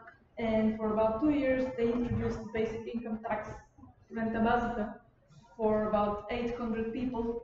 And what I was doing personally there was to see, to value the happiness of people before introduction of, of this basic income, during the introduction of basic income, and after. The, pro the project is still kind of running. So the idea of this basic income was that the people who are facing themselves as unable to find work, to give them the possibility not to worry about income for about two years, and invest these two years in taking care of the families, but also in learning how they could start their own initiative, their own like small social, small social enterprise. So this program, the, the Renta Básica, includes included it still includes kind of not only the introduction of minimum income, but also kind of programs for learning about social entrepreneurship, learning about social and solidarity economy, being involved kind of with um, at the community level in some more community initiatives, but also kind of the introduction of, a sort of um, alternative currency. With the idea is that after the basic income experiment is over, there's going to be social currency that's going to keep resources more or less circulating on local level. It's just one experiment that found there. Similar experiment is done in Finland, in Utrecht. There's is one is being done in Canada. So many kind of you could see the little seeds of this type of proposal germinating here and there. That is saying that it's actually possible. It's actually coming with tax. It's been funding by it's the money for the basic income in Barcelona has been coming partly from the European Commission, but partly from the redistribution that the, but the municipality of Barcelona has done by taking power taking the money that they were using before for other activities. Yeah, please. Mm, um, what's the like from a degrowth perspective? What is like the opinion like who what does degrowth say about the existence of like huge metropolis and like big cities? But does it believe that is sustainable? Or I, I mean, yeah, yeah. Um. So the point is like it was time some time ago we believed that the only it was kind of generally assumed that the only logical way of being is to get out of the city, to have a house, and kind of live there in the countryside. But actually, if you take all the population, human population, and you just like distribute it along the along the whole earth, we're gonna need almost in, in a way that everyone has a house and a piece of land. We don't have enough land. So actually, it seems that the um, the urban sprawl or the kind of the bringing kind of people from from the city to the countryside has been pretty ecologically damaging. Actually, it's because so far, whenever over the last 10 and 20 years, whenever ur urban people move to the countryside, they bring their urban lifestyle with the car, with all electrodomesticos, with high level consumption. So you can see that the the the typical pagès de toda la vida, no, es como, it's having completely different type of lifestyle from the, let's say, person working in an office, coming with, with all his family, living huge house, with all type of facilities. So it's kind of, there's a clash, there has been a clash in terms of like what we perceive good life there. So actually, going back to the here, so this is why I like work now. My research project is directed towards urban nature and how we could make cities more, uh, more greener and more efficient. Because actually, from a life cycle perspective and material throughput analysis, it's more efficient to have all the resources brought to the city and somehow distributed. And you, you need less transport when people are together. You need less um, kind of you could centralize education, you could centralize healthcare. So it's kind of resource-wise, it's kind of it makes more sense that we are kind of also in a city. But of course, we know we know that there's kind of huge contradictions with a, level of waste that's being generated, with the level of air contamination that's out there, and of course with the amount of stress that's generated by the by all this machine of, of economic growth that are cities. So so degrowth is actually thinking of from degrowth perspective, you could think of greener cities that are less dense, that are car-free, or just like have much more car-free and slow, slow areas than currently. But actually, degrowth is not preaching to dismantle metropolitan cities. No, we have cities as usual, but let's see how these cities can be rethought and let's say think of more urban gardens on top of the buildings, but think of somehow self-sufficient buildings which have, uh, let's say, solar panels and they have kind of more energy. So th there's a lot of studies that, for example, Barcelona, they're kind of calculating that if you take all the roofs, of all the roofs to generate electricity, Barcelona could achieve quite big percentage of, of energy sufficiency, for example. So there is way to rethink cities and think of like energy and kind of nature in cities. Yeah. Mm -hmm. How we apply growth in an intersectional perspective. Uh -huh. because, you know, we have different priorities depending on our class. And what I can't stop thinking is what will happen with low class communities which live in overpopulated cities that they don't have even time about degrowth because they what in what they are only thinking is about living, you know. Mm-hmm. So for me, like from a general perspective, when you talk about degrowth in intersectional perspective, for me degrowth is like exactly that relates to the whole idea the whole source of deep democracy in degrowth. That first we need to learn to value diversity. That there are different ways and diversity in terms of valuing, in terms of living, in terms of like kind of exercising your daily priorities. So it's kind of acknowledging this diversity. I think from acknowledging this diversity we should act. So so in terms of like lower income population, if you see the, basic proposal of degrowth is first of all redistribution, income from the, let's say, from wealth to, um, to the rest of the population. Therefore, mm, the basic income experiment that we're doing now in Barcelona with the Municipality of Barcelona is just focusing on people from Besòs, mostly like from immigrant like uh, origin, that are given unconditional access to, to having a kind of basic income so that they could that they're able to spend the way they consider meaningful, whatever. So so therefore so with the redistribution proposal of degrowth is mostly targeting the the, the, the individuals in society which have high level of wealth and uh, where, where actually income is being concentrated. So actually if we just find a way to de like to dismantle this concentration of income and somehow distribute it more to, to let's say that to the lower income neighborhoods is the way is the way we're imagining that is the way we're kind of imagining that could function. And degrowth is not something to go and preach in the kind of among the among the kind of those let's say we call it the global south and the global north. The, the way the global north has its global south the, the, same way the global south has the global north. So we talk about the distribution, we talk about distribution perhaps everywhere. Uh, uh, like in Latin America, among the richest of Latin America, and among the richest in, in, in Europe. So yeah, redistribution is key there. Yeah.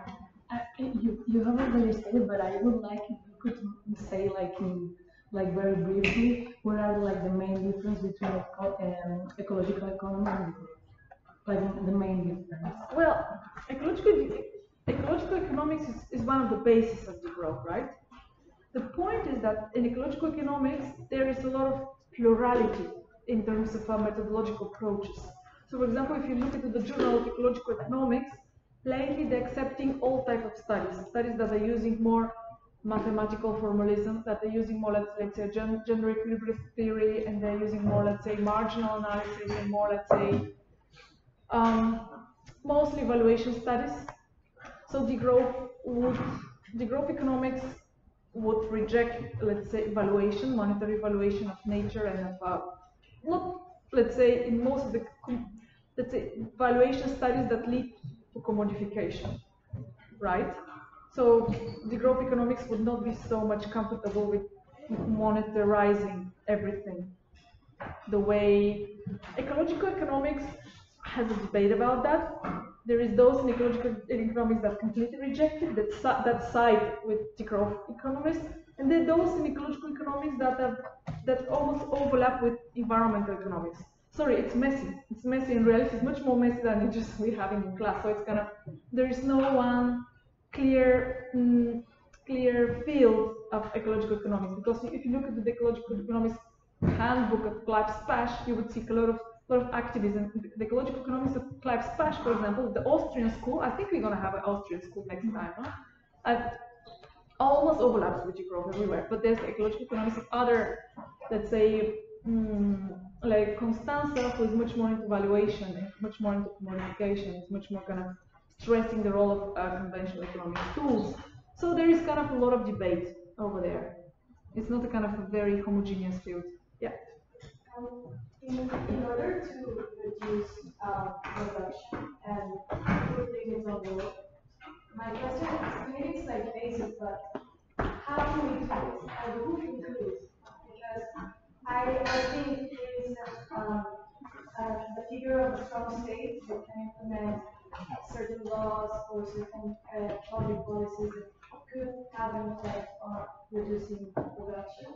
But then the contradiction appears like we live in a globalized world, the market is globalized and so on.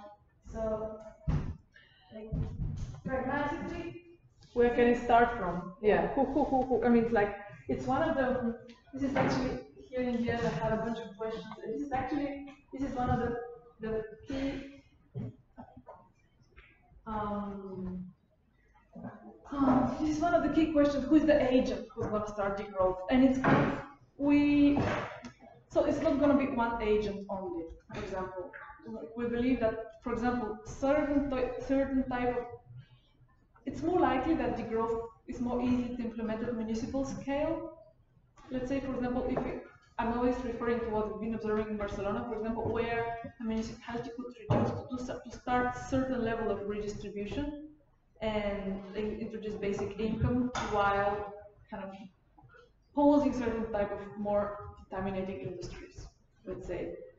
On a state level, it's kind of, for example, we've been communicating a lot with Podemos. We've been trying to kind of say, okay, can you drop the growth? Uh, because in the Podemos agenda, there is like, we feel kind of there's a lot of interesting kind of uh, cercanías, no closeness with, with the degrowth ideas, but still they seem to be, the certain type of fraction for Podemos which is very much in favor of green growth. And so it's kind of at the same time the European Greens now we've been having a conference on, in the European Parliament with the European Greens who fraction of the European Greens are starting to open up to the idea of degrowth. Others are saying, okay, now it's, political suicide to talk about degrowth. Completely no one's gonna, all the kind of labor unions are gonna be kind of against. So I, I don't have a question. I don't have an answer. There's like degrowth in terms of reaching the state level. It, it's kind of it's still there's no blueprint. It's a kind of a process in the making for continuous debates. But where degrowth is stronger, actually, in terms of actors, is at the very level of the community initiatives. It's something that we call nowtopias, or kind of the level of self-organized um, parallel realities, where we could actually experience different ways of being, different ways of acting, etc. kind of Where in the social and solidarity economy, that is actually growing. So there is this theory according to which we have kind of certain type of practices in the social solidarity economy which are growing in a niche. And it is that this niche over time could expand and overtake the other sectors. But for this to happen, still we need favorable laws, we need, need some sort of favorable environment. So the, so the actors are everywhere. Actors could be at state level, the actors could be municipal level, actors could be community level, the actors are in the university, the actors are you, all of you who are actually changing the way uh, economic teachings is being created and organized and inverting the roles. So you are all actors of degrowth for me. Tell me if I'm wrong. And um, yeah. Yeah. Yeah, so uh, it's more or less on the same line from the last question. Um, and he said, um, if we're effectively running out of time, and we're kind of passing some breaking points, some even are already surpassed, um, and the, the premise of degrowth and how it's like um, it's all very interesting. Uh, but how can we join that with the with the urgency that we're facing? It seems that um, just precisely in a time that we appear to need more straightforward, extreme um, solutions. How can that be combined with this very slow, um, very democratic and, very interesting decision-making process and slow expansion into to different political arenas and parties and ideologies and stuff? Uh, but with the need to act now and, and, and press for more mm. direct action on the matter. Yeah, that's that's that, that's exactly the, that's exactly the thing. Like the times of democracy are much slower than the times of decision making. And so, what do we do with that? I mean, what you're saying has two aspects. One is like, indeed, we need to kind of act now, but when acting now, we need to be very careful not to reproduce certain type of repressive um, practices that have been used in the past. So in the sense like, yeah, we need to act with urgency, but acting with urgency could be um, repressive and then we impose degrowth policies in top-down way, uh, it's very likely that we're going to produce the reverse outcomes because we're going to receive a lot of pushback from those who, for example, if, if, if the Spanish government all of a sudden starts to kind of push for degrowth without much democratic support, mm, it's likely that kind of the majority of the people are going to rebel against this and to create that completely. On the other hand, I think the best way is, is, is to act at the speed. So, for example, if you start with a kind of, if there is an opening, let's say, in the political arena for, different way, for different attitude towards growth, and stimulus of spaces where kind of we could have reflective debates on, on the on the state of the on state of humanity, the state of uh, our planet, the conditions of our planet. At the same time, this are somehow balanced out with some sort of political action.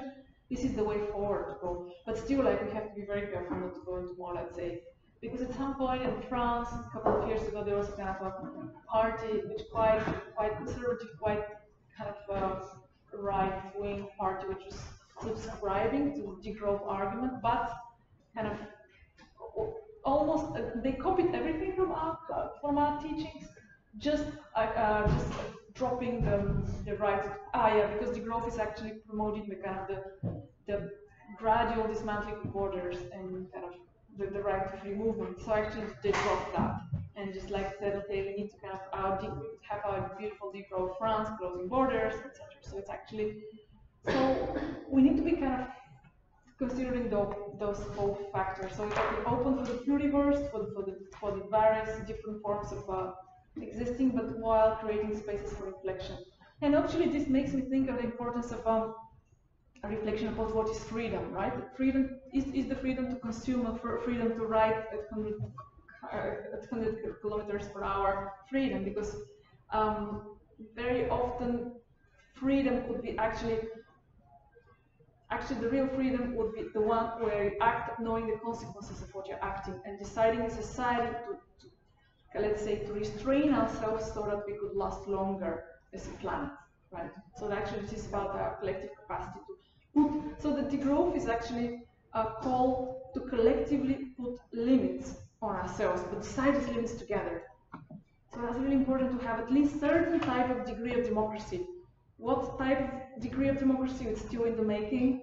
It's still kind of in this process of self-discovery all the time, but still we need to kind of collectively decide on how we establish these limits and to what extent we want these limits, and this needs to kind of be supported with both top-down and, and bottom-up processes.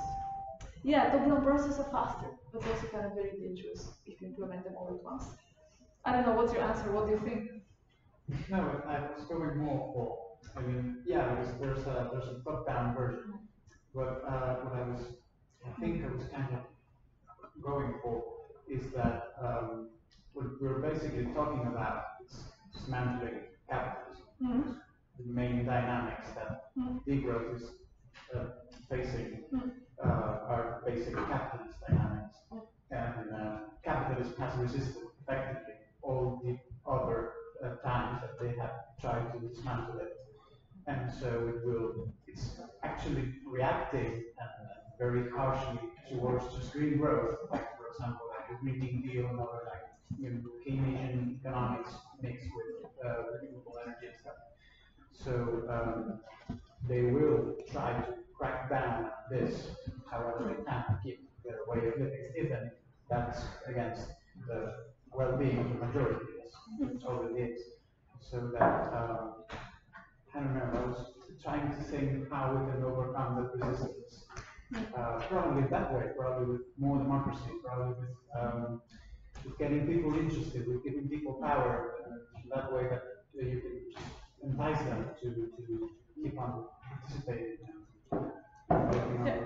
What's happening now with the rebellion extinction is just now like uh, it's it's kind of a, a movement that not only for me it's a movement that it's not only kind of uh, ecologically oriented, you kind of say, okay, our, our lives are in your hands and oriented towards the governance, but it's also kind of movement that finally acknowledges the role of emotion and intuition. Because you could see, I mean, I was looking at the, at the speech of Greta the other day, and I was thinking what she's saying could be said by, let's say, let's say president, or like let's say parliamentarian or some sort of business consultant. But the place from which she's speaking, the emotion and um, commitment and the kind of truth for which she's speaking is actually having this power upon and having, having this influence. So it's kind of acting not only from the mind, but also acting from the heart and the emotion is actually and acting from just another place is what's actually driving change as well. So just like But then you crash like all the logic of, of uh, modernity uh, says that we have to think rationally and we must like think our steps and I mean I totally agree with you, but that means changing the actual imaginary of how we make decisions and how our world react. Yeah, yeah, it's true. I agree. it does, it does, yeah. And Acting when- out of rationalities has been kind of pretty problematic, and this is actually one of the criticisms of modernity. That actually we need to kind of acknowledge emotions as a kind of equally valid reason to act. Not as only basis to act, but we need to listen to emotions as a source of intelligence as well, because emotion and intuition also of gives a lot of intelligence to act. But the question again is where does this crash start? I mean, when, when or where or with whom? Um, We figure out in every one of us. I would first look at it on a personal level. but, um, I mean, for instance, that, that, um, ese cartel dice, planes d'estudi no han. Yeah. Perhaps it's cambiado. It's kind of the fact that these two, these circles actually are actually taking place means that, and the fact that you're receiving credits for them, and the fact that you could do your kind of final, you could do some work with this, with these theories, means that you could done minimal change. For me, it, it, it's, it's a change. It's slow. It's super slow. But yeah. And actually, for example, thanks to that, in ICTA, we're having kind of a whole department on degrowth economics, and there we could be activist researchers. So it's actually there is some spaces in academia where you could still be activist and researcher and kind of go for the ideas that you believe are worth pursuing. So carry on, please. This is super important. I'm just looking at you and it's like, yeah, please carry on with the circles. It's kind of it's really important. It's kind of really lots of greetings to all of you that are making this happen. Sí, primer les preguntes, ho deixem aquí. Moltes gràcies, Finca. Jo dir dues coses. Us espereu tots i a totes la, la setmana vinent, que serà el, ens queda sessió del cicle, l'economia austríaca, dimecres també, i recordar que totes aquelles persones que vulgueu el crèdit PAX, a part de venir a totes les xerrades que tenia signatura al full, eh, haureu de fer un, asa- un assaig exposant, bueno, us m'ho explicat totalment, us vam enviar ahir, si no m'equivoco, eh, per què creieu que és necessari el pluralisme als estudis de la Facultat d'Economia, quines us agraden més o desenvolupar algunes de les teories que hem vist. I si alguna persona que no vulgui el crèdit ens vol fer arribar l'assaig, també estarem encantats de llegir. I per acabar, eh, deixaré dos minuts a la companya d'AEM perquè us digui una cosa. I potser...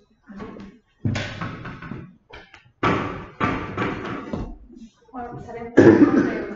Em, som una nova associació que es diu AEMA, que és em, ecologista a la Pompeu i som unes quantes estudiants que volem canviar certes coses de la universitat. Doncs eh, us demanem em, la vostra col·laboració perquè ara mateix l'acció que tenim... Bueno, se la tu. Eh, sí, bueno, ara mateix eh, estem treballant en una acció que hem posat diversos eh, tags contenidors per la facultat, a la qual ens agradaria molt si poguéssiu mm, depositar, si utilitzeu, que espero que no, ampolles de plàstic, eh, perquè estem fent una recollida per després fer Sí, un projecte. doncs dilluns volem fer eh, una escultura amb aquests plàstics per demostrar a, a la gent de la universitat que consumeix aquestes ampolles de plàstic a la cafeteria realment la magnitud del problema, ja que hem intentat eliminar-ho des de la pròpia cafeteria, però no ens han deixat, per tant volem que el canvi comenci des de vosaltres, des dels estudiants, i doncs volem que si dilluns, per exemple, teniu una estona lliure, doncs ens ajudeu a, a, a ensemblar l'escultura perquè estem encantats de rebre la vostra ajuda.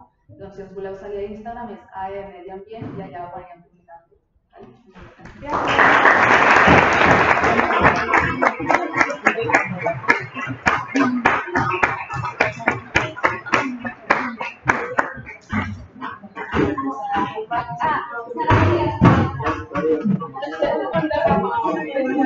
Gracias.